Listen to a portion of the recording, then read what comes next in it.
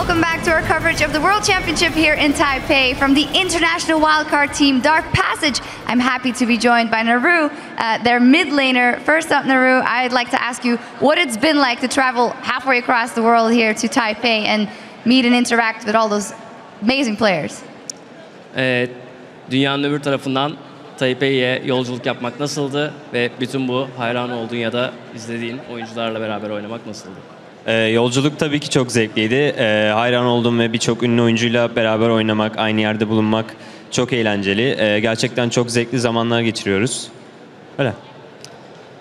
Uh, travel was very good and I'm very happy to be here because I meet all the players and teams that I love, love to watch and that's why I really enjoy my time in here. Yeah, and you get to play versus players that you've maybe seen on, on, on the screens all over the world. So even though you guys haven't won a game yet, I do add, what is the main thing you've picked up from playing versus them? Ee, şu ana kadar henüz herhangi bir galibiyet almamış olsanız dahi onlara karşı oynamaktan ne kazandınız?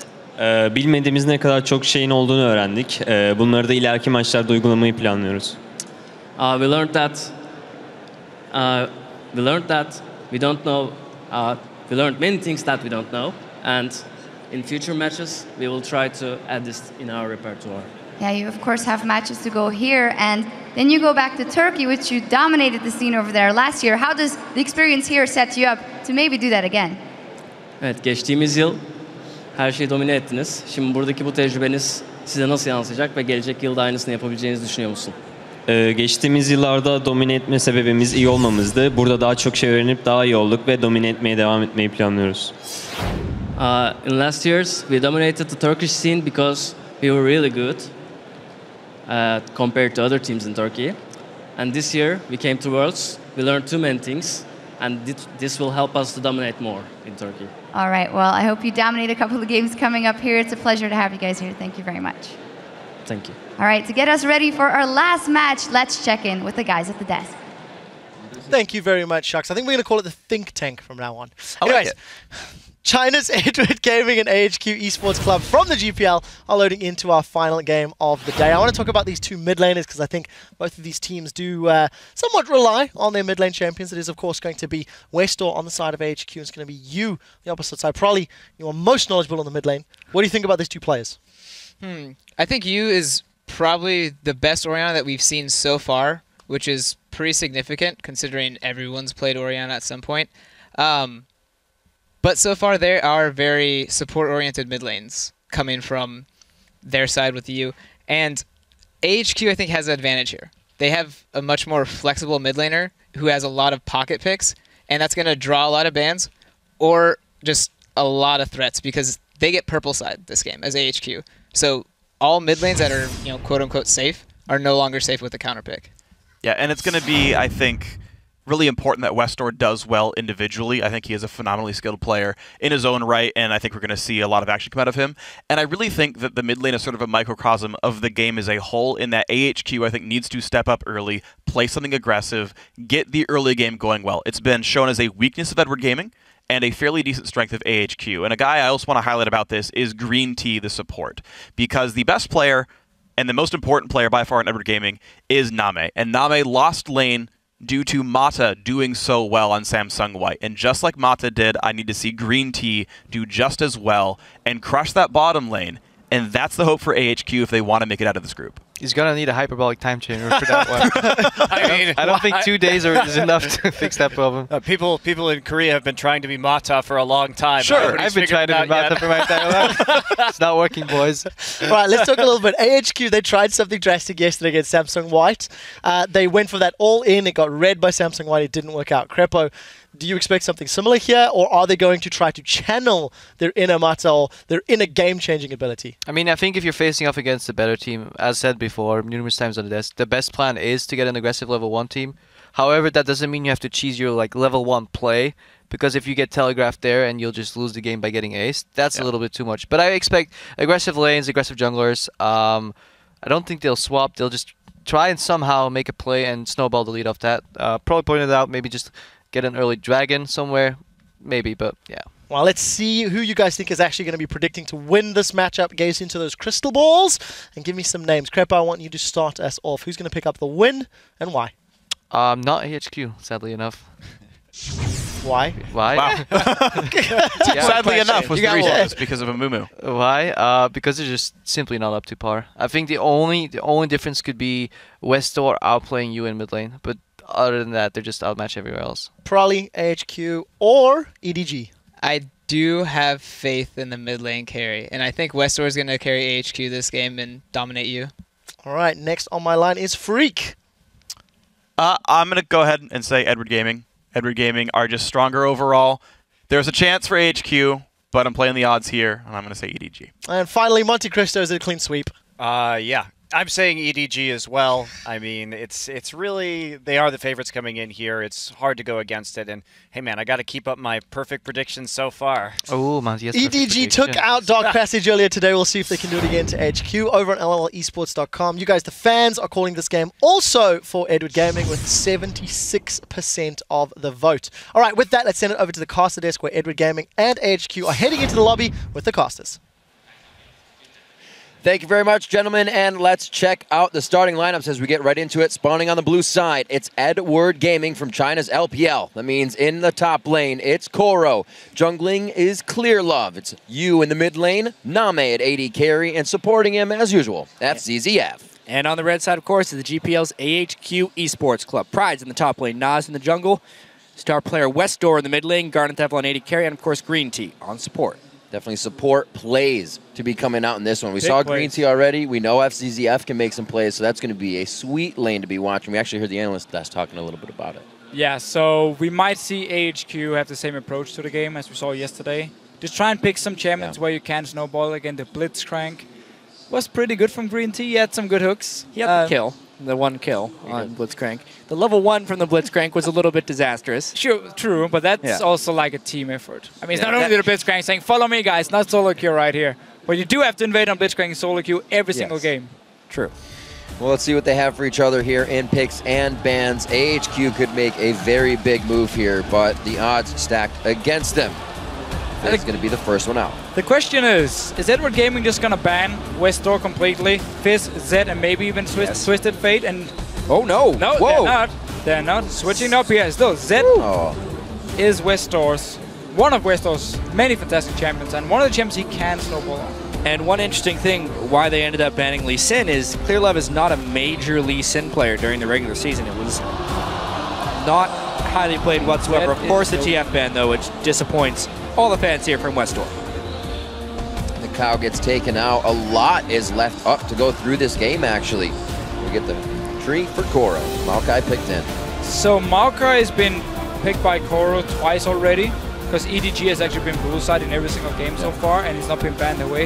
And Maokai in China is such a fantastic pick. Like just in most regions, we do see Maokai as one of the top tier picks, but especially in China because you are so strong in these team fights, because you can engage fights as well, makes you so so strong. And I actually feel like it's a bit of a mistake that Koro can get it once again, but I know they have to ban Zilean if they want to play Zed. So Giving him Yeah. the safe lane, EDG, their early game safety. That already goes to the top lane. We'll have to see what AHQ can keep putting together. Clearlove and U to pick. Based on the rest of the bans, they kind of had to give him Maokai. that's the problem. The right? rise is potentially oh, so more that's why I fearful. didn't ban Zed. I'm, I guess so. It's not a big pick in China, as you've pointed out many times. It's not, I mean, normally split pushing in China, it doesn't really happen. It's all about these team fights here, and Zed already has the problem. He's not super strong in team fights. He's extremely good in one-on-one and in split pushing, but it can be very hard to play team fights here. And U, I've never seen him play Zed No. before. 39 games, regular season playoffs and regionals, zero Zed picks. He's a utility laner. Is this U telling Westdoor, I can beat you on Zed, even though I haven't played it Oh, entire season? oh! He says, let's fight blades for blades. And actually, the Nidalee also getting locked in on the side of AHQ. First time through. Not a big surprise that we see the Nidalee against the Maokai because it's unbanned. It's something the Prydz plays. Yes. As far as the Zed pick, though, U is known as a jack of all trades as far Yeah. as mid laners go, big champion Yeah, yeah. pool. And since they did burn that one ban on Lee Sin, this Zed pick is kind of like a pick as a ban. Yeah. I think more than anything else. But it will, I mean, it is a different playstyle for Edward Gaming because they are this slow early game, get into late game, have like Yeah. full scaling comps, normally hyper carry for NaMei. You have, again, tanky utility top laner, and then of course we see like this Orianna mid lane for U so often where you scale into late game and you are so strong in these team fights. This is going to be a different playstyle because suddenly Yeah. U is going to be a split pusher now, and of course Rengar for Clearlove and Twitch login for NaMei. This is full pick comp. if you're at Worlds, you're going to have to bring this stuff out. You cannot play the same thing every time. If they know EDG is going to just want to sit in lane for late game and try to win a Baron fight, then you're going to be able to get under their skin. And wow, the Blitzcrank will get locked in Had to do it. again. He had to do it one Yeah. more time. I mean, again, it's it's a snowball support. Get a few good hooks, and suddenly you have a few kills for your team, and he's looking great. You have Talon again, give him a few kills. Nidalee can solo carry games Yep. by just split pushing. So AHQ doing the same as we saw against Samsung White here. A lot of snowball potential, a lot of high damage champions as well. I mean, it is a David versus Goliath group. Although I do feel like this game is sneakily competitive. It's the bigger David and the slightly smaller Goliath facing up against each other. So maybe it could turn in. Yeah, they picked a lot of champions that have the potential to take over a game. Yes, and again, EDG, different play style of different comp compared to what we normally see. NaMei on Twitch as well, it's one of his like best champions. But the way he actually plays it normally is he's the guy engaging team fights. Like he's in the front line engaging the fight. Now he's gonna have to one-on-one people and pick people off or be around you and then surprise them. The last time I saw him play Twitch, it was actually in this Zilean Kayle composition where he could jump up right next to someone. He can't do that now. No, he cannot. And it's time right now to do that Twitter thing. Share your predictions for who's going to take this game. Tweet hashtag EDG win or AHQ win to at LOL Esports. And we'll count up your vo- votes shortly as we get into game. We can see their EDG on your screen, ready and raring to go with this composition they're about to kind of enlighten us with. We'll see. Whether or not U can become unstoppable. I mean, his Orianna was very good. Zed is a completely different animal right here. Oh, uh, we'll see it going into game now. We are onto the Rift. EDG on your screen. NaMei on Twitch. You see him running out of the fountain. Good pickup as we see another Nidalee coming in today. Not too much play for Nidalee coming into the World Championships, but when he, or she I should say, can be locked in, it is going to be in that top lane. Prydz hits it up for this game. And ladies and gentlemen, we are on the Rift. This lane matchup here in the mid lane is very, very risky to play for the Talon because early on it can be very hard for Westdoor actually to get some poke onto U. You can constantly poke him with the Q, and also if they do get an all in, suddenly you have the Shadow coming in some extra damage mm-hmm. for you here, which means Westdoor will have to actually jump him to outtrade him in damage. and suddenly you are at risk of getting ganked. And Rengar isn't a fantastic ganker pre-6, but is a good counter ganker pre-6. Or even rather threatening if Westdoor has burned all of his spells early on. So it's definitely a very, very risky lane if AHQ can't get control of the jungle. We do see him start with Flash though, and his ward here, so gonna be a lot of sustain for Westdoor in this mid lane. And he's going to need it in the start because you should be able to get a small CS lead, and then once we get the ultis up here and Westdoor goes back, get his first item, we might see him do the same as we saw, uh, was it Pawn do in uh, earlier game? Yeah, Pawn was just using his ultimate on cooldown on the Talon. Right. That was against an Orianna, though, to just continually push uh, Naru out of lane again and again. I don't think that's as easy Yeah. against Zed. If you try to hop in with an ultimate on him, he's going to ult ultra right back. Could be a difficult situation. Well, going to love to see the fight between these two in the mid lane. Hopefully with a little bit of jungle pressure as well. Speaking of that mid lane fight, there's one last thing we're going to mention here, even though it won't come into play right off the bat. Double assassins, and neither one of them are bringing Ignite against each other. So it's very much an offensive lane. Uh. and NaMei's doing his Twitch thing. Yeah, Here we've we seen go. this before. They don't have him hooked up with red buff this Great read by time, unfortunately. honestly. But yes, beautiful read. You kind of walked forward a little too soon there. Yeah, but AHQ have done their homework here because when NaMei plays Twitch and there is a lane swap, AHQ started the lane swap themselves. Then he likes to go into this mid lane, he has stealth up, get a few hits on the enemy mid lane, and that could actually be enough to simply win the mid lane for you.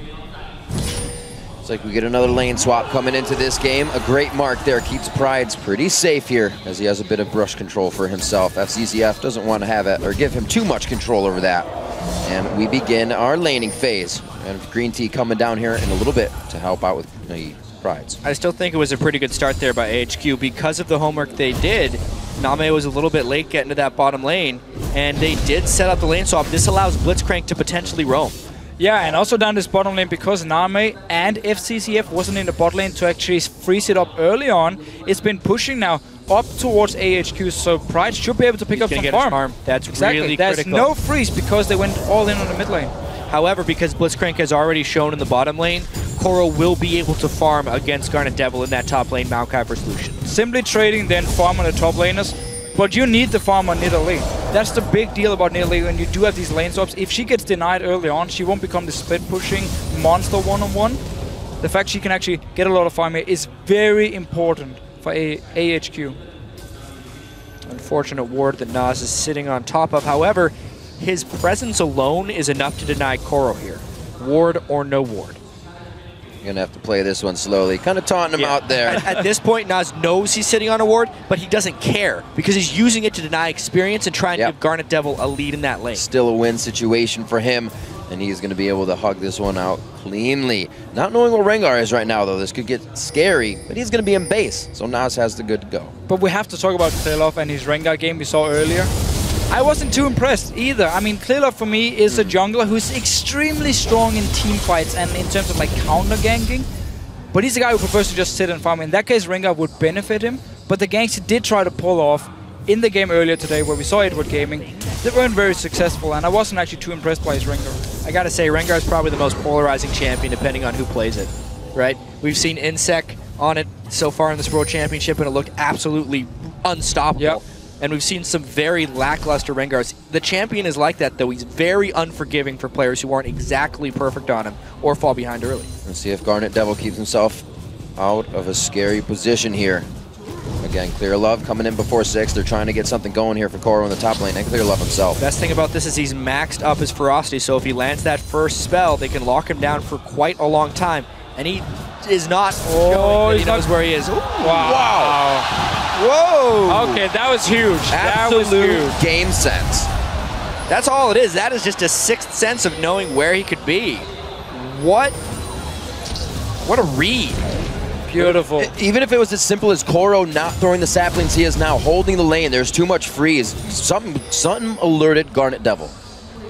Crazy Probably just there. Koro's play. That's one really underrated thing about solo laners working with their junglers, not having any tells in lane, not over baiting. At that point, it seemed like Garnet Devil saying, there's no way Koro would be playing this way if he didn't have backup, may as well check. Right, because Koro actually, just before Clearlove went to the top lane, he was trying to try and push out the lane one-on-one, but as soon as Clearlove showed himself, or showed himself for Koro, he started backing away, was hoping for Garnet Devil to step forward and hit him. He was like, yeah, you know what, why are you suddenly playing so passive? Are you actually baiting me? End up checking the bush. Doesn't take it as a sense of weakness, and he knows to keep himself safe. It's going to be a pickaxe buy for him on the first back, and we're going to get these lanes swapped out. Looks like Prydz is going to have himself a top lane now versus Koro. It's a pretty good And lane swap here, lane already too. No, but it's been a pretty good lane swap for HQ in the in the sense they got farm on Nidalee. Now to get the one-on-one. Might try and chase for kill here. Force a flash at least. Absolutely forces the flash underneath the turret, twisted it down, Oh, goes down, one more swipe, the oh! coming out from Koro to stop the first blood. So close, but Prydz really knowing the damage here. Once you apply your passive with Nidalee, your Q all of a sudden does 33% more damage. Uh-huh. Yep. And you're just jumping in there, almost killing him. And those Nidalee spears, though, they're so thin now. The slightest of side Right. steps by Koro right there. Save his skin.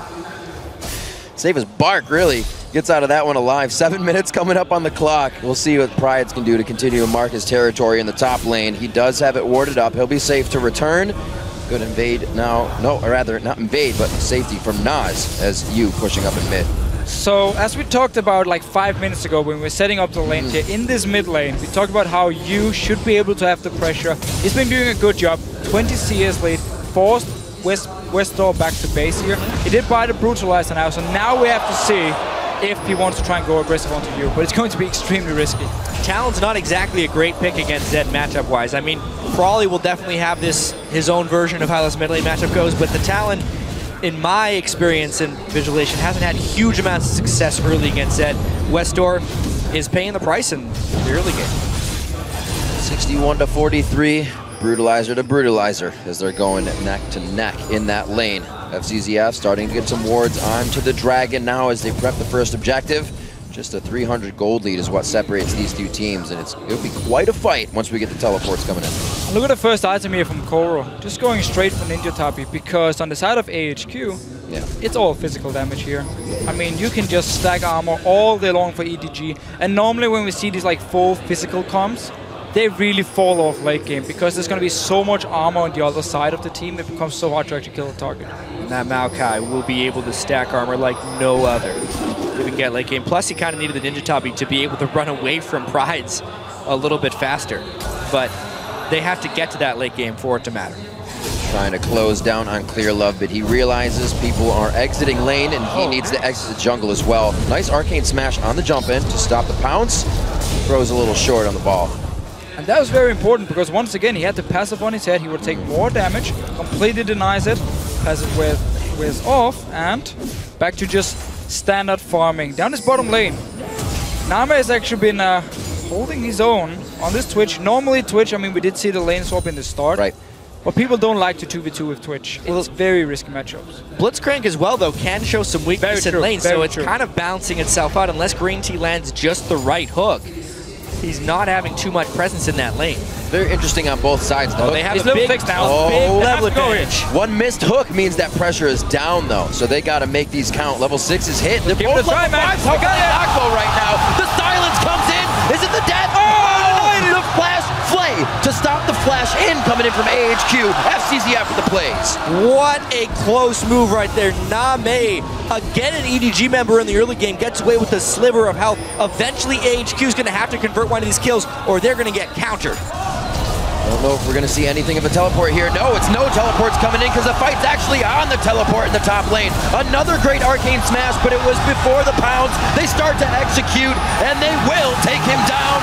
First blood for Naz, but the fire box goes down, and they're going to try to put Garnet Devil in it. Actually, he is supposed to be safe from it. Green Tea now trying to get the hook, but he gets hooked by FZZF. The cleanup in the bot lane coming in for EDG, and Clearlove gets two for himself. That is exactly the gank that EDG needed. Now Clearlove gets the two kills on Rengar to build whatever he wants. Plus, because of the double kill, they can take the dragon afterwards. EDG has survived the early game and made it to the team fight phase that they know and love with that play.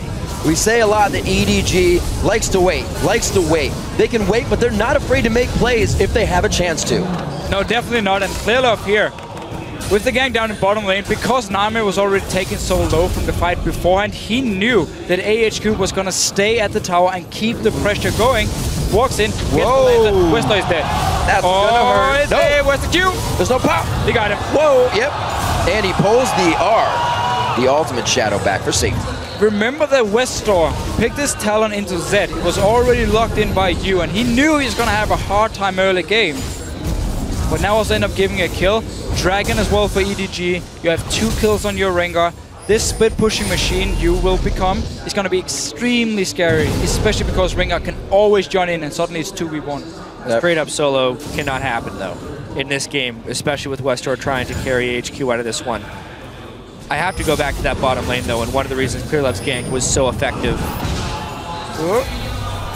It's because when they went in, those flashes being burned preemptively were just so critical. It was just a perfect setup for a Clearlove gank. And that's why we said AHQ needs to be able to close out those kills or they're going to start getting countered. Ooh.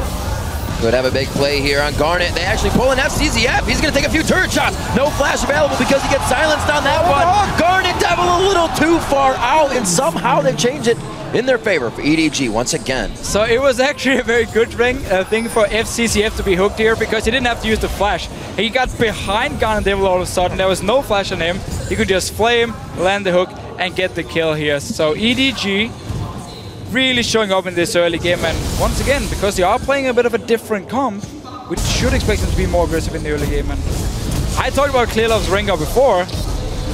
He's uh, looking pretty good so far. hey, he had a little bit rough in the very early game, but because his first ultimate was so well executed, sometimes that's what make, makes or breaks a Rengar. The first ultimate they use at level 6. We were talking about the Rengar builds a little bit earlier. He does start to stack up that flare. He's not going to just sit on the Madred's for now. A lot of pressure towards this top lane. Naz throws down the ulti. He's going to get Clearlove. Clear Love's got full stacks. Uses the ferocity. It looks like they're going to be going in. That's the death mark going down, and Naz hits the floor. Oh, oh, oh fuck. Prydz oh. over the wall with twisted advance. An unfortunate event, and he goes down as well. From bad to worse is one of the biggest things we see right there. Clearlove looked like he got a little bit caught out, but EDG, as they always seem to do when we watch their games, collapse faster than the other team and turn every skirmish into a team fight. is quite crazy, especially when they start getting ahead this far. You look at NaMei to be the AD carry for the team. He's not that hasn't have to be an AD carry or carry for the team. Everybody else is doing a great job right now. Clearlove coming up huge. We haven't even seen U start the split push yet if you wanted to. And it looks like EDG returned back to lane on both sides. Westdoor picking up blue buff here. Pink wards on the side of AHQ. Let's see where they start putting them. And look at the items here for Garnet Devil. Because he knows there's going to be so much action early on, seeing as EDG already has the lead and can just keep pressuring it, he actually decides to get a crit cloak, even though you normally want to have a BF sword and a pickaxe. But this time around, he didn't have enough gold for it. He figured, I need some items now. It doesn't really matter what I get as long as I'm building towards the Infinity Edge. I have to get some items. He could have gone for a Brutali Brutalizer as well Yeah. and get a Ghostblade as the first item just to get some some power. I'm a little surprised you didn't actually just go for more long swords. The critical cloak is going to need a lot of luck to try and pay off. Interestingly enough, we were checking a lot of rune pages early on in the game. So many players are running one red crit rune. It's this incredibly widespread thing in jungle and at the AD carry position. And support. Zero. And support, yeah. Zero on Janna. Runs uh, 1% crit. And I've been looking for the jungle crits today. I've seen it once. Once. Six Yeah. games, and it was on a blue buff. Oh man, this could be some pain going into Naz. He does have the mark over his head. He goes down from the death mark on U. Fight towards Koro in the top lane now. It's not going to be any pressure from anyone here. These guys are the only teleporters, and they're going face to face. Looks like it's going to be an extended one with He the needs the lantern. There he There it goes. is. They Oh, finally no. closed in. Jet, like you said before, EDG is always the one to close in first. Poor Prydz. He is just one man against the world right here, and EDG is always bringing backup. Yeah, and EDG is just walking around in the jungle of AHQ. They've already warded up, so they could just move between these lanes. Whenever there's action in any of the lanes, expect multiple members of EDG to show up. All right, see if Green Tea can make a play coming up here. Looking for the hook. Looks like he's getting as close as he can. Koro on point with his side steps today, and he's just going to take that one to the backside. Gonna with the revenge. Miss hook, don't care. I'm just gonna hit you with my ult. EDG waiting. They know they're not hatching a ward on this one. Naz just on the other side. Whoa, he does get the alert system out. Naz gets hooked. He's going to get chewed up by Clearlove. And it looks like Prydz tries to get back to lane. They do get out CCF. That's going to be a kill for Garnet Devil if he can finalize this one. Take not it, Green getting any Tea, crit. take it. That's, yep, the Ignite's going to be coming out actually. Yes. Oh, it's Green Tea's. West Doors in the fight. NaMei gets out of this one alive. He can still be shooting from the outside, but he's way too low. Now goes the kill for Garnet Devil. They're going to be following Green Tea on overdrive. Will he be able to find one more? And it does not look like he will. Still with the extra chasing. slow. He might. He's got flash. Flash up. But this could be a tower as well. I mean, a lot of kills all of a sudden for HQ here. Actually punishing EDG for being a little bit over aggressive. They were going for the kills. There's a Z in the bottom lane, however. It all started though with that green tea hook over the wall. That was a very surprising move there by AHQ. They didn't really seem to be fighting back, and all at once they catch EDG by surprise. If there's anything we learned yesterday for AHQ against Samsung White, is that Green Tea is the guy to set up all the kills on this Blitzcrank. He's not afraid to as well. He'll miss a few hooks and he'll, he will keep going in on these fights. And the best part about it is AHQ usually has a few members there to fight it. The worst part about it is if they don't, EDG always gets there first. I mean, speaking of kill setups, they do have you on the run. Let's Oh, see man. this. So where's the rest of EDG? How fast do they get here? That's one, missed one. This is going to absolutely turn into a complete dragon test. He should have flashed there and just knocked him up and then hooked him while he was in the air. power fist. I mean, he would have gotten the kill. They could go for Dragon then after and get some more gold here. So Green Tea should actually have flashed for this one. Yeah, a little bit too much faith in his own skill shot skill right there. You can really see AHQ needs to make this one work though, but unless they get a pick with Blitzcrank, it's going to be real tough for them to set this one up. I saw Clearlove at the very start of that last engagement. The level of damage he is putting out right now as a level 10 Rengar with damage items is rather remarkable. And HQ has work control though. Monty said it on the desk. If you want to stop a split push as well, Rengar's a good one to do that. So Prydz can't really get him himself into a situation to put AHQ back in the game. could be difficult. This dragon still getting hit up, half health. He's going to go back home and heal up. Green Tea could be looking for a hook from the side here, but he does not want the tree. And look at Westdoor here on the minimap. He's constantly staying at the mid lane. He wants to flank around EDG, trying to get on Tsunami in the background. Here's the fight! Locks down Prydz, gets hit up very early. No more heals can come from him. They shut down a bit of the utility, but EDG is now looking to keep themselves alive. To the outside goes Clearlove, but he's back into the fight with the rest of the team. Great focus coming around from AHQ, but they just cannot close down the health bars because EDG's got way too much damage. Where was the patience there by AHQ? They went when they did not have to go. They hooked a low health Koro, which just basically pulled them into the team because you're going to explode on them. And I believe Westdoor blew his full combo while sitting on an exhaust because he didn't Probably, want to yeah. wait longer time. And he couldn't really find a target. Again, he was staying No. at the mid lane. He wants to flank. He wants to get onto like NaMei or U maybe. Just try and burst one of the squishy targets. But he ended up actually walking in when the fight was almost over. Far and ahead already. Let's see this one more time. Green Tea didn't want that grab, but he was forced to pretty much make one. Yeah, Prydz gets completely caught out while they're pulling the wrong target. This fight started on EDG's timeline. It was a really good box as well, but I mean, to burn three quarters of his combo while sitting on that exhaust, if he waits that long to make it in anyway, at least wait until the exhaust is gone, and they could have gotten a few kills. Problem for him though was that his team were kind of already like either disengaged or already died, so he was gonna be the next target. So yeah, you can try and wait like for one more second, but do you really want to take the chance? Because if a hook had landed for FZZF, we would have been saying, why didn't he ult?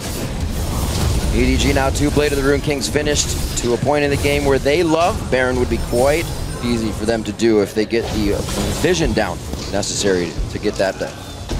Still looking for some type of carry from AHQ. Will it be the split push? Will it be Green Tea's grabs? Because some have been missing, but when they've been hitting, he's not getting the people he wants.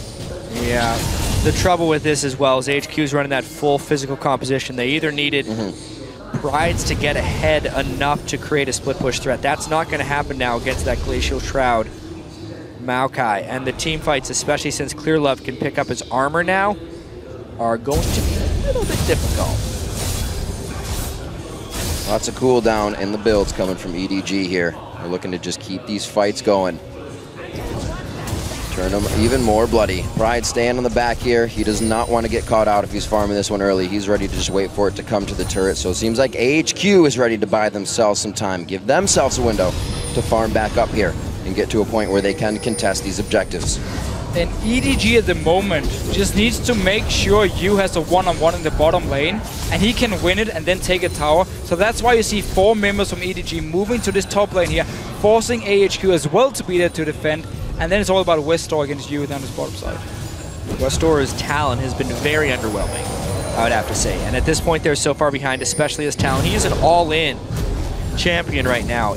I don't see how he's going to find an effective use in this match, especially now that FZZF's exhaust is almost back off cooldown again. I mean, he used it so perfectly last fight. Face of the mountain as well for him. So you have the shield, you even have the lantern shield, and as just mentioned, the exhaust. And he might die here. Right in onto Westdoor. He does not have a chance to breathe on that one. FZZF looking to continue. Prydz on to EDG. And it looks like U is going to stay alive on that one. Prydz gets himself in out of the fight as U back to the team with a dark passage. And they somehow, oh, man, how do they continue these fights? Beautifully done. Left and right, it's just AHQ trying to find a way out of these fights. Four for one. You could really see EDG as just taking control of this game now. Every fight they find is a better one. They're the ones picking the fights against the team that needs to get picks. AHQ is just getting completely obliterated. Everything they focus just disappears in front of their eyes and then reappears as the engage happens from EDG. It's looked perfect so far coming from them. 304 unstoppable now coming out on Zed. He's doing quite well for himself. Again, he had a good matchup in the mid lane. He managed to win it. Even killed Westdoor one-on-one oh actually in the lane. Getting a top tower now, got a bot tower earlier as well. I mean, the split pushing and starting. And as long as the rest of EDG can make sure to have control of the rest Yeah, of the yeah. Let's just see it again. though. Crazy. Yeah, flash jump there from Koro, just setting up an easy kill for U. He actually took a fair bit of damage coming in there. And then Green Tea is the one who gets hooked to a retreating Koro who just ends up helping out with the initiation. At that point, EDG is just piling on everyone, collapsing and making a team fight. Although, That's a pick. Very nicely done. Something Might to be make too little lead too here. late. Still, yeah, and again, it's also too early in the game to actually go for Baron here, even though you had they managed to get a kill, and also it was just onto the support. So EDG managed to get a kill, but can't really do anything with it other than place a few wards. This is going to be tough if AHQ gets pushed back to their base. Oh my gosh, not even in the base right now, and it's going to be EDG that finds a pick for themselves. AHQ cannot let these things happen. That is a ridiculously fed Rengar. I think is what we saw right there. He basically soloed the solo laner right there in Westdoor from stealth. Look out. A little bit out of hand on that one. As I was just saying, it's going to be tough for AHQ once they get pushed back to the turrets. Their wave clear is not immaculate, or not too great, I should say. And they're going to be pushed in quite hard. The static shiv trying to be built up by Garnet Devil to supplement that just a little bit. And again, right now, if EDG wants to, they can just split up in all the lanes. Send U in one lane. You have Koro as well. Like, put Koro in the bottom lane so you do have the Baron pressure where he can teleport up and join in. Have U push the top lane, Yeah. and then you put NaMei in the mid lane. He push out the wave, and then him and Clearlove together can just go to either top lane or the bottom lane and just find a pick. I mean, you can dive people. You can find them in the jungle because you have all the wards placed. There are so many possible picks for EDG here. Got a lot of options when you got a 10,000 gold team. And it works out, especially when you're so far ahead. If Clearlove doesn't get the engage he wants, he just finds a dark passage from FZZF. They're out, and they try it again. So I'm just gonna think about the group as a whole right now because Yeah. everyone expects Samsung White and EDG to make it out of this group. AHQ needs to pull off an upset to be able to come back out of this one. They're going to be sitting at 1-2.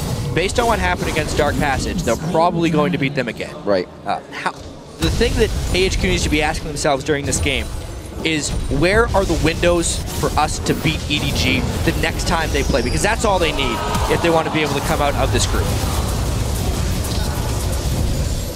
Slow pushes into that bottom lane now. Trying to get this down so EDG can get themselves a nice Baron attack. Oh my gosh, on to Westdoor.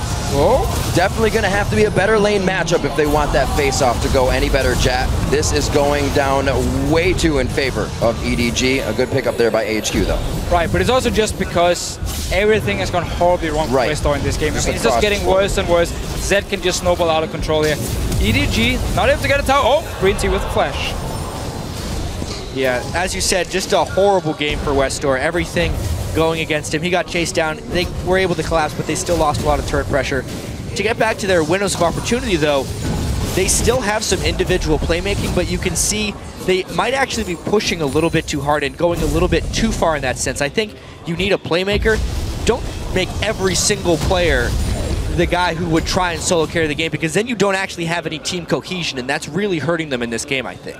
And it's really been a, pro- a problem if you look at like picks and bans, how every single team going into the games against AHQ can say at least two of our bans will go to Westdoor. Mm-hmm. And then if you pick the third, like assassin out of Z, TF, and obviously Fizz, I don't know if we should call TF so much of an assassin, but Right. still one of his like main picks where he can actually carry games, it becomes impossible because the rest of the members on AHQ, they don't pull any bans.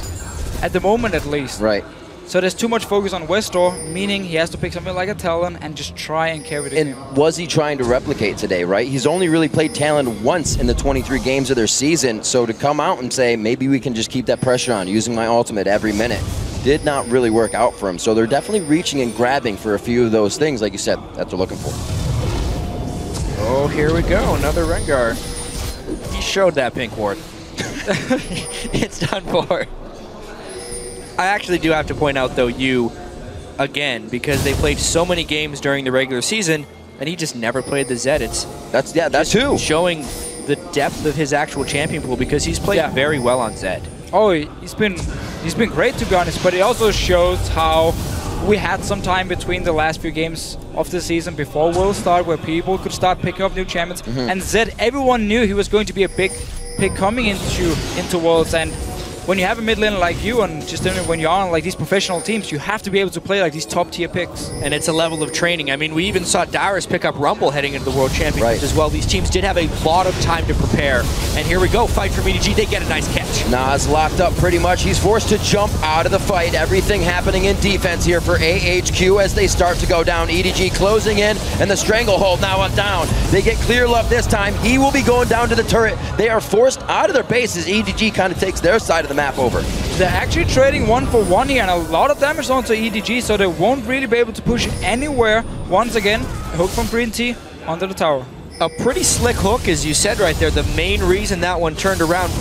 Clearlove, because he was getting so far ahead, continued to build those damage items, meaning when he did get pulled into the turret, he was able to get bursted down pretty quickly. So a little sigh of relief from HQ there. That was a great ultimate by Westdoor. He did Yeah, a exactly. ton of damage to the team. The main reason EDG had to back out. This could be one of those windows. Give them a time to breathe. AHQ could possibly set up their wards. They definitely have to clear the plethora around Baron Pit right now that EDG has. So if AHQ can get themselves into position, you can definitely start to whittle away at this gold lead that EDG has right now around 11,000. It's going to be tough. We still have a lot of time to go in this game, according to what stands in the base of AHQ. And as long as they can keep wards in their own jungle around this Baron here, Yeah. and also keep the Baron warded, of course, they might actually be able to buy some time. But if you do look at their comp and what we talked about earlier, earlier with the full physical, you're against a Maokai, again a Rengar, fantastic Mm-hmm. late game, you're not really going to outscale. And this Nidalee pick has not been able to do anything in a one-on-one because Prydz has been so far behind.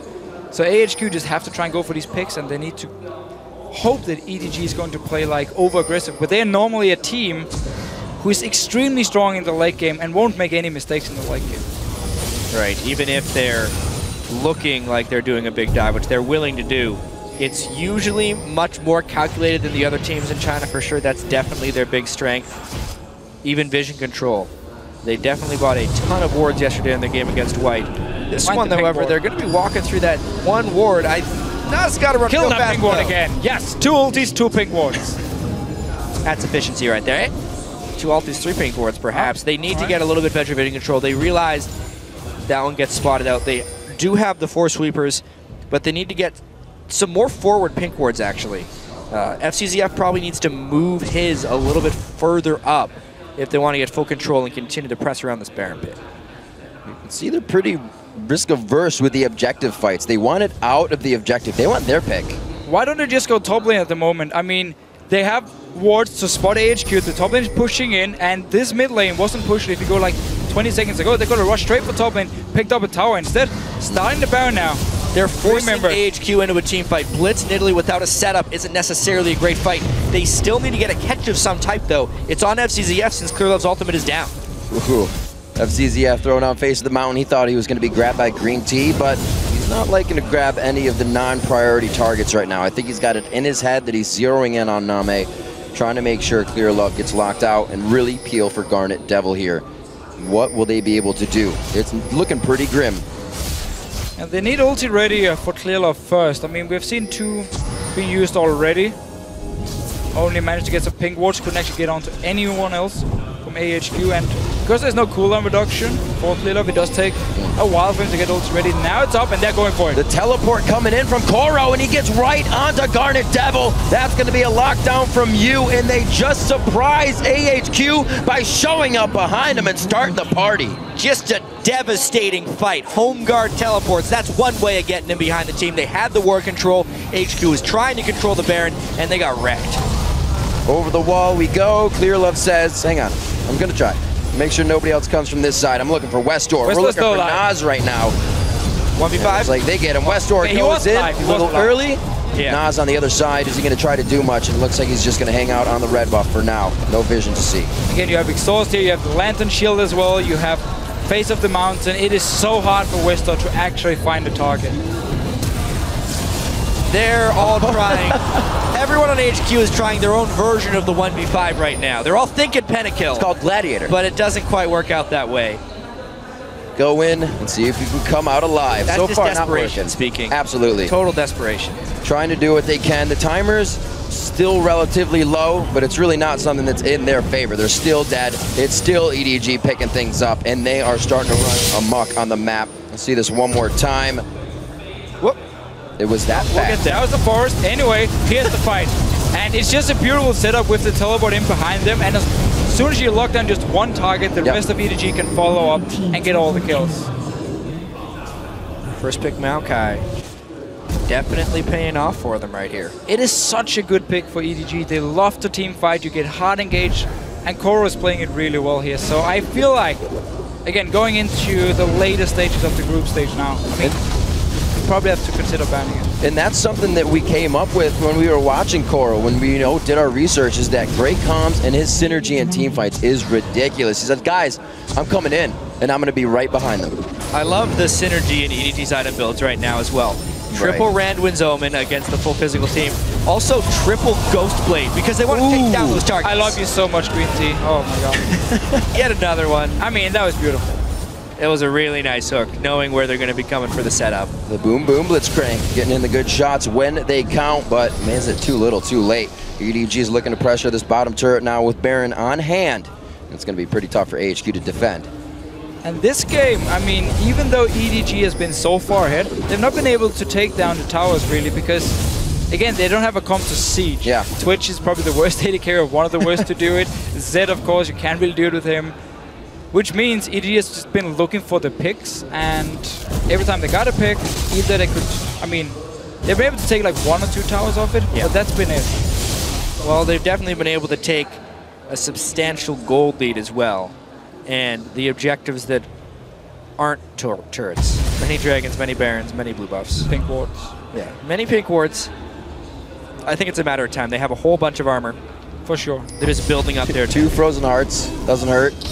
Yeah, Frozen Heart on FZZF. Not gonna not gonna be doing uh, too much damage to either the top lane or the support right now. And then you have everybody diving in, pretty much zeroing you out instantly. They're not even building armor past those Randuins. They don't need it. So far ahead in this game right now, 62.8 thousand to 46. This is where they need to close it out, though. Teams this far ahead need to start definitively closing out games because they get caught like this. Can EDG close in, though? Maelstrom keeping a lot of damage off of Koro right now. He is huge. A very, very scary tree right now. I mean, that's what happens when a Maokai can itemize only one main resistance because he's such a tanky beast already. You give him more efficiency with those tank stats and he will become that big. Garnet Devil only facing you on that one. Keep himself alive, has to flash out of that, so it's not going to be as safe the next time they get the engage. FZZF on the front line takes a bit more damage than he wanted to. But Koro, Koro can stand there, so he's going to be the front line for the team, taking the culling as well. That'll be regened nicely by Baron. Remember, there's no ult for U here, so if AHQ wants to fight this is the time. Just try and go for it. Hope the Zed can't do anything in the fight. In the end, though, EDG managed to disengage. The ulti is ready fairly soon, and then it's up to them to go for the kills. Green Tea does have his flash up. I'm ready for the hook. Waiting for it to come in. I mean, what are you going to hook him into? Your inhibitor? The inhibitor's not going to help. Prydz gets caught. Gotta try something. Then next to the Nexus turrets now. He does get Koro though. Not the one he wanted. And it looks like they're gonna be able to get through inhibitor. That is U all the way to the back line on the Garnet Devil. And he does get the E hit as well to add the extra damage. Cancels him out. And it looks like it's gonna be the Nexus for EDG. When it's all told, even though they weren't able to siege that well, it's still just 36 minutes. They definitely got a whole bunch of kills, and they close out AHQ. 28 to 10, 36 minutes into the game. A beautiful game for Clearlove on Rengar. And it's going to be EDG taking down AHQ. And in this game, we actually have to look at the early game and say there was a lot of misplays, of course, from AHQ. The double flash down the bottom lane, Yeah. set up the gang from Clearlove. And then once we had all these aggressive plays in like the first five minutes, it seemed like AHQ suddenly realized, oh, we are playing too aggressive. Let's just be more, like, play more safe. So when they actually had chances to do something, they didn't go for it. And AHQ had the game under control until that bottom lane misplay, right? They were not able to close the kill. Clearlove capitalized, and once Clearlove got going, he's such a good team fight initiator and pick catcher once he gets a little bit of farm that he was able to end the game on that way. Right, and again, I'm also just I'm thinking back to Green Tea when he's chasing U and Zed. He has the chance to actually flash, knock him up, kill him, get a dragon for his for his team, and almost even out the gold. That's where you have to pull the trigger if you want to come back in a game like this, and that's where a team like AHQ, a team like Dark Passage, they don't have the quick decision making yet, or they don't know exactly. Okay, now is the time we have to strike if you want to come back. Otherwise, we I mean, we saw what happened. EDG, EDG just kept getting more and more Yeah. gold, getting more and more picks, and We also Okay. realize EDG is damn good at dodging skill shots all day. This Oh, could have been a completely different game if 50% of those hooks hit for Green Tea because they were on point when he was in position. It would have been Twitch a few times, and then even when Koro was weak enough, it- he would have gone Yeah. down. Think back to the very beginning of that game, the level 4 Nidalee coming into the level 5 Maokai. Ah. The last little sidestep Oh, on yeah. that hook. If that hook lands, Nidalee completely takes control of that lane. It sucks Clearlove up away from the bottom lane. It allows Garnet Devil to get going. Maybe it unlocks Westdoor a little bit in teamfights. Th- Skill shot dodging, pretty big. Definitely a, a winning factor in that game for EDG to come out. When we saw their play style of slowness, again, the way they do it, different from Chinese teams, but not afraid to execute when they need to, as we saw Clearlove do in the bot lane. And the thing is now also, if you are in Group B and you're like TSM, your Royal Club, Yeah. and you're looking at EDG and Samsung White here, and you see how dominant they are against these teams, it is going to be pretty scary going into the quarterfinal because obviously number one from Group B is going to face number one, uh, number two from Group A here, and Yeah. as it looks right now, EDG is going to be number two unless they can beat Samsung White next week. Yeah, oh, I mean, sorry. We're, we're, we're at that halfway point right now. So I think Right. specifically Group B has a really interesting road ahead. Starhorn Royal Club, even though they are 3 and 0, they had two rather close games, right? They probably should have lost against TPA. Yeah. And they were the closest to losing against SK is of a lot of the teams. So it's not like it's set in stone up there. And even though EDG was very good in their showing against AHQ here, I don't think they were nearly the same level that we saw Samsung White. So I think Agree. that Group B definitely has so much importance on the number one seed as we move towards the next two days to close out the groups. I have to. I'm 100% agree, of course, Yeah. Yep. because facing Samsung White, the team everyone was talking about and hyping up and saying this is probably the best team in the world. As long as they dodge Samsung Blue, they can take take the whole tournament. So getting the number one, it simply means Group B is going to be so exciting tomorrow. And now for EDG and Samsung White, it's just all about finishing up the last few games against Dark Passage and AHQ, and then it's all about the big final, which is going to be in two days, I believe. I said tomorrow, that's wrong. Yeah. In two days, and then with Right. the big final.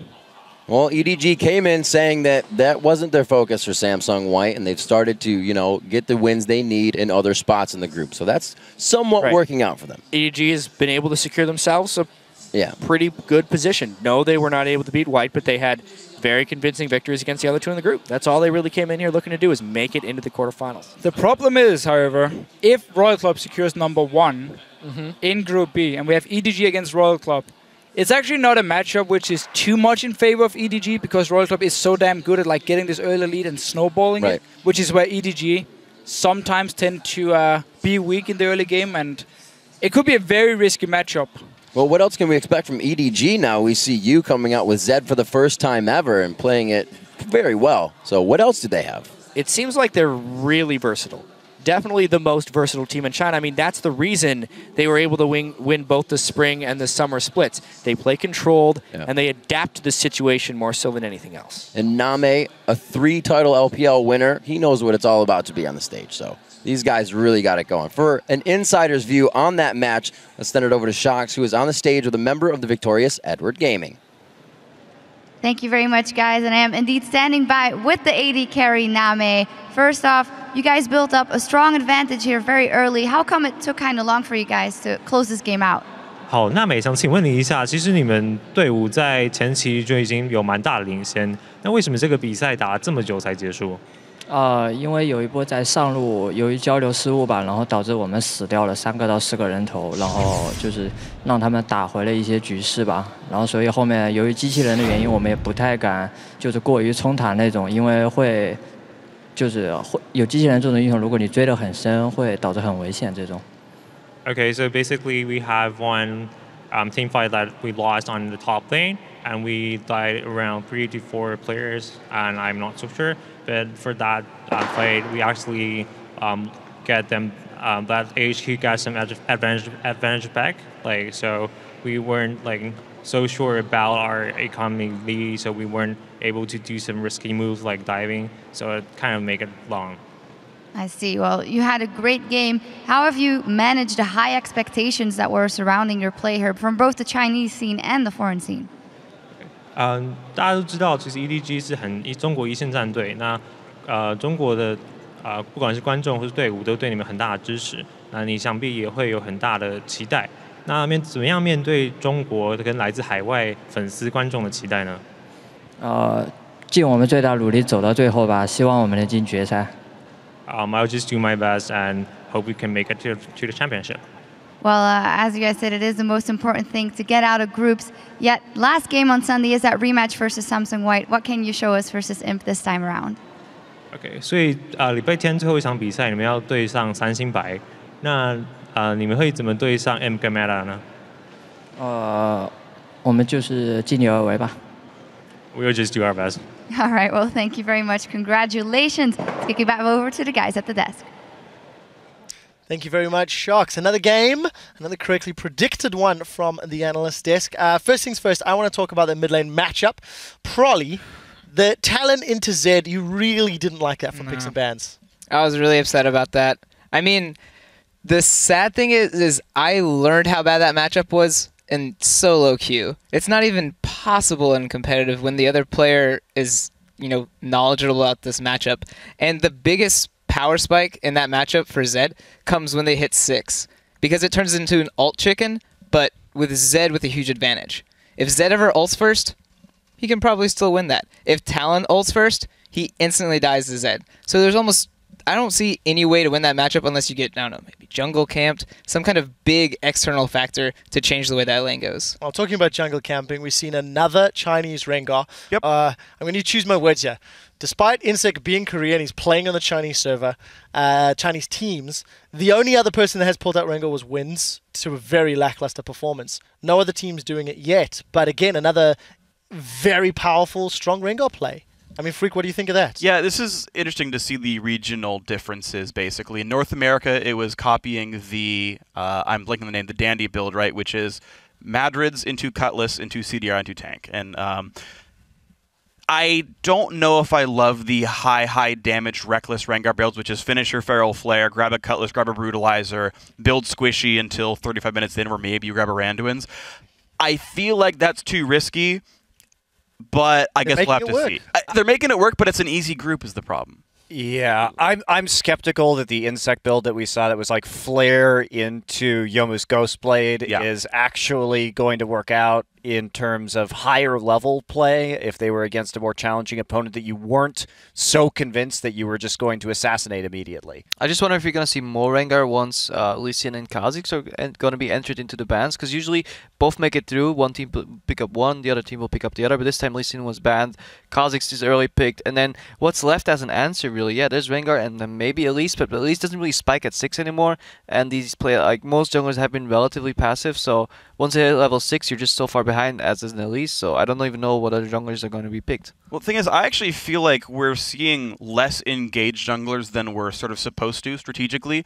Like, I do understand why Kha'Zix is good. I understand why Rengar is good and all this, but like, I feel like we're missing all the the Vis and the Jarvans that are still incredibly good, still good damage, decent duelist, but actually good at ganking junglers. And and especially when we see so many mid lane focused matchups, you grab a champion like Kha'Zix, who doesn't have the best ganks. Whereas when we saw like Gilius's Jarvan, he actually had some good things going for him, and I'm just sort of surprised to see less gank focused junglers, basically. Yeah, I, and in, in terms of rounding out the pack too, we've seen a little Nunu, but no Nocturne yet. And a lot of the Korean teams do, in fact, like to play Nocturne. Group C or D might have. Uh, Yeah, uh, Watch has been playing it in Najin White Shield, so this is another pick that we may see come up. It could also be something as saving their picks, maybe playing the standard ones in the group stages if you don't need to pull those out. But It- we'll yeah. see how that goes. Let's talk a little bit about the standings because another night, another day of matches have been consigned to the history books. Let's pull up that graphic and see where the teams are placed. We are exactly halfway through both Group A and Group B. We're going to keep this graphic up for a little while as we look at Samsung White 3 0, Edward Gaming 2 1 in the Davids and Goliaths group. We really feel there's not much chance of HQ or Dark Passage really taking games off these top teams? There is really no surprise here. Exactly what people thought would happen ended up happening. And I actually want to bounce off what you said a second ago, Quickshot about uh, these teams hiding their picks, because actually back at All Star 2013, Rapid Star, I believe, was the All Star mid laner for Korea, and he started he played mid lane Kennen every single game just to make teams think he cared about Kennen, so he could bring out his real champions when they played the Chinese All Star team in the finals. It was ambition, but yeah, ambition. sorry, yeah. thank you. The other. Now, let's talk Group B, because this is the inter- interesting one for me. Starhorn Royal Club 3 and 0, Team Solomid 2 and 1, TPA 1 and 2, SK Gaming 0 and 3. SK gets Svenskeren back tomorrow. TPA and TSM going to be looking at who's going to get that next matchup uh, uh, between them. And there's a possibility that that second place could be up for grabs. Yeah, there is an outside shot that we have a three-way tie for second place if SK Gaming can win all three of their games, and we can see TPA kind of take out TSM. Now, realistically, I think SK Gaming is probably going to lose to Royal Club, but they can still play the spoiler here, and that's what's so interesting is that this now full power SK Gaming could in fact knock somebody out of that second seed. Well, there's actually two ways it can go. They can still lose to Royal Club. They just need TPA to beat TSM. Just kind of flip the group around. You've got a three-way tie. Or yes, they beat Royal Club. Then they're actually in control of their own destiny. They can go three and three and just be a likely second place auto berth. It's going to be an interesting one to talk about. Probably, what's your take after seeing TPA, TSM, SK? Is there room for these upsets? I mean, we still feel Royal Club are the favorites, but yeah. they were pushed super hard today by an SK squad with a sub. Uh, it has been touched on a lot these last couple days, but I think Svenskeren coming back into the team is going to kind of light a fire. They're going to look at their losses and go, we could have won that game. And I think when he comes back in, they are going to kind of bring it back in the group stage. TPA, on the other hand, I don't see them really clawing back in this stage. And TSM, I think, is just going to keep getting stronger. I want to ask Krepo, after seeing TPA and some of the mistakes and problems they've had, full strength SK with Sven, who scrimmed with them in Korea, will they be able to punish TPA's mistakes? I think definitely SK will rise above TPA. Um, I think once they got Lee Sin away from wins, it just it just all started like crumbling down. Um, TPA just yeah, they have they have some good elements in there, but we saw you know their bot lane just didn't punish uh, the the or didn't uh, use the windows of opportunity they had. Mm. Their mid game like calling wasn't good. Their like some rotations were good, but then so every like something was lacking every time, and I think SK co- will come back with a new passion. Like they want to perform, they want to show the world, hey, we made it to Worlds for a reason. If you go back to European playoffs, they actually were a good team strategically. Um, they have this very like unique style that Monty highlighted as well, and I think Svenskeren is definitely um, gonna come to play if he's is uh, like mental capacity is stable because a lot of, a lot of things happen. You know, if he's coming Yeah. in calm and and the crowd is not gonna be against him too much, then maybe. But it'll be a, good factor. point. I, I like the fact you do highlight Monty talking about SK because before the suspension, you actually had SK to make it out of the groups. After seeing the teams, having some insight, and knowing some of the mathematical possibilities, if you were given the chance to change your prediction of the top two in this group, do you think SK would feature? Uh, n- I mean, no, not now. They've lost too many games. I mean, I didn't. Ha- I, if I were to say they were going to get second place in the group, I wouldn't have thought they would have beaten Starhorn Royal Club at all. Uh, so, assuming that they're going to lose again, the best they can do is two and four.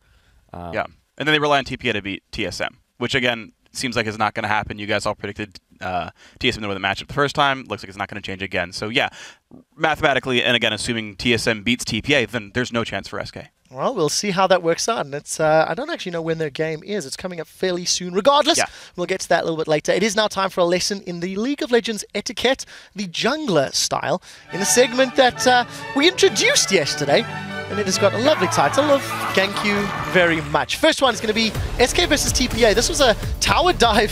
Freak, do you want to talk me through this one? It was pretty heavy. Yeah, so they try really hard as the flash EQ ulti. Uh, right here, we don't need the flash crescendo from Sona, but this is actually why I like champions like Jarvan, is you can just force kills. Yeah, that's And for sure. Sometimes you snowball an Ari because of it. Worked out very well. We got another one. This is going to be a very aggressive Rengar dive from Edward Gaming Clearlove. He's going all in. Yeah, there's pretty much nothing they can do. They cancel absolute zero there with Janna, Kog'Maws not being touched. I mean, at this point, the game was very far ahead. You saw Orianna cutting down immediately as well. It is basically cleanup. They were even contemplating on teleport. It was like, yeah, let's just have three people die instead of four. So at this point, the game's over. But I, I do like the Rengar ganks, um, just well executed. Really, really strong uh, Rengar play from Clearlove. this is a nice one from Amazing, because he's going to set himself up to counter gank wins and what ends up being a uh, no gank you in return. Monty? Yeah, and the no gank you here is really a mistake from TPA. Actually, uh, they had just seen Amazing clearing out the pink ward behind the red buff, and so they should have known he was topside. Yeah, somebody needs to give Pro, uh, Clearlove another high five, because just more kills being racked up for this Rengar play. This is kind of what happens when you've got an over-aggressive team. AHQ, I still don't love the Blitzcrank pick for them, and I think they tried a little bit too hard to make plays when I think they could have relied a little bit on individual skill and less on cheeky, really risky picks. It was good spacing um, from NaMei on Twitch though. He definitely dodged that hook. If if he got caught there, it could have been like a one for two. But he just he knew he knew he was safe. You know he knew his team could clean up and just a well set up gank. Rengar and Thresh is so annoying to play against, especially when you play something like Blitzcrank where you're you feel forced to make the move, so you'll constantly be walking forward, and then you realize, oh, they have an invisible jungler. Maybe I made a small mistake. Yeah. I think the blitz pick goes back to they're not confident as a team versus the others. They kind of think they have a disadvantage skill wise, so they're going for this blitz pick that not many people practice against. Well, we'll see. It didn't work out today, unfortunately. Yeah. Guys, tomorrow we will be bringing you another full day of matches, and here's who's going to be going head-to-head. -head. Up first, it will be David and Goliath, the Samsung White versus Dark Passage, followed by SK Gaming at full strength, taking on the Starhorn Royal Club. Then HQ Esports Club will battle it out with Samsung White, and will round out the six-game day with SK Gaming versus the Taipei Assassins. Those matches will begin on Saturday at 2 a.m. Pacific, which is 11 a.m. Central European Summertime. I'd like to thank our special guest analyst for sharing their expertise with us today, and for myself, the casters, the entire world's broadcast team. Thank you so much for watching. We will see you back here tomorrow.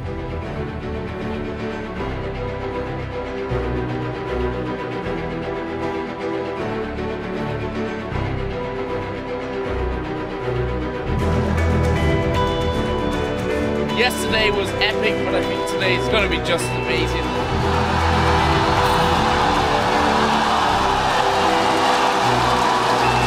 That's going to be Gilius that picks it up, but SK take a very low in the pit here. Candy Panda jumps back in, but it's TPA coming out on top. Have they got the damage? They damn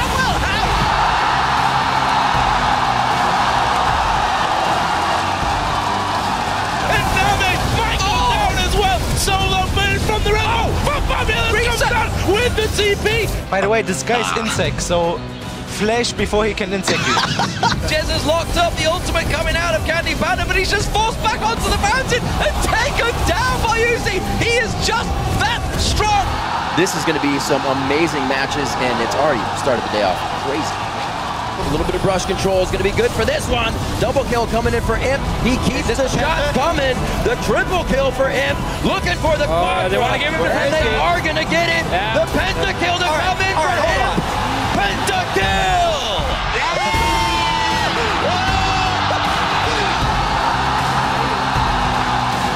World Championship 2014, my bro.